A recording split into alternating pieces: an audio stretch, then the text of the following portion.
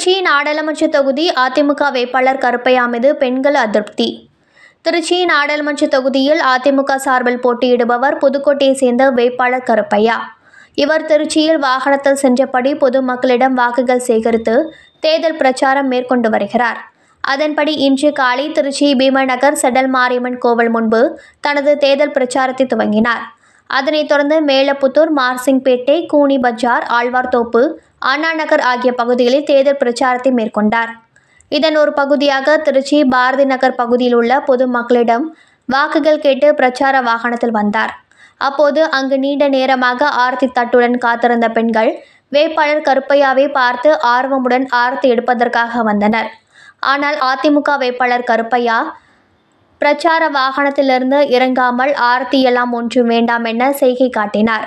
மேலும் உதவியாளர்கள் ஆரத்தி எடுக்க வந்த பெண்களை பார்த்து ஒரு தட்டு மட்டும் கொடுங்கள் என கூறினார்.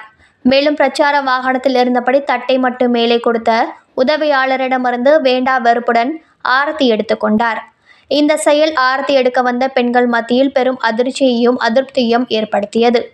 பொதுவாக ஆரத்தி என்பது ஒரு காரியம் செய்பவர்கள் அந்த காரியத்தில் வெற்றி அடைய வேண்டும் என்பதற்காக ஆரத்தி எடுத்து வெற்றி திலக்கமிடுவார்கள் அந்த வெற்றி இலக்கத்தோடு அவர்கள் வெற்றியை நோக்கி பயணிக்க வேண்டும் என்பதை ஆரத்தி எடுக்கும் பெண்களின் மனதார வாழ்த்து ஆகும்.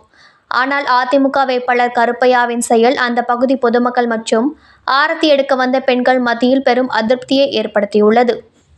இத்தகவலை நமது செய்தியாளர் ஜூடு திருச்சியிலிருந்து தெரிவித்துள்ளார்.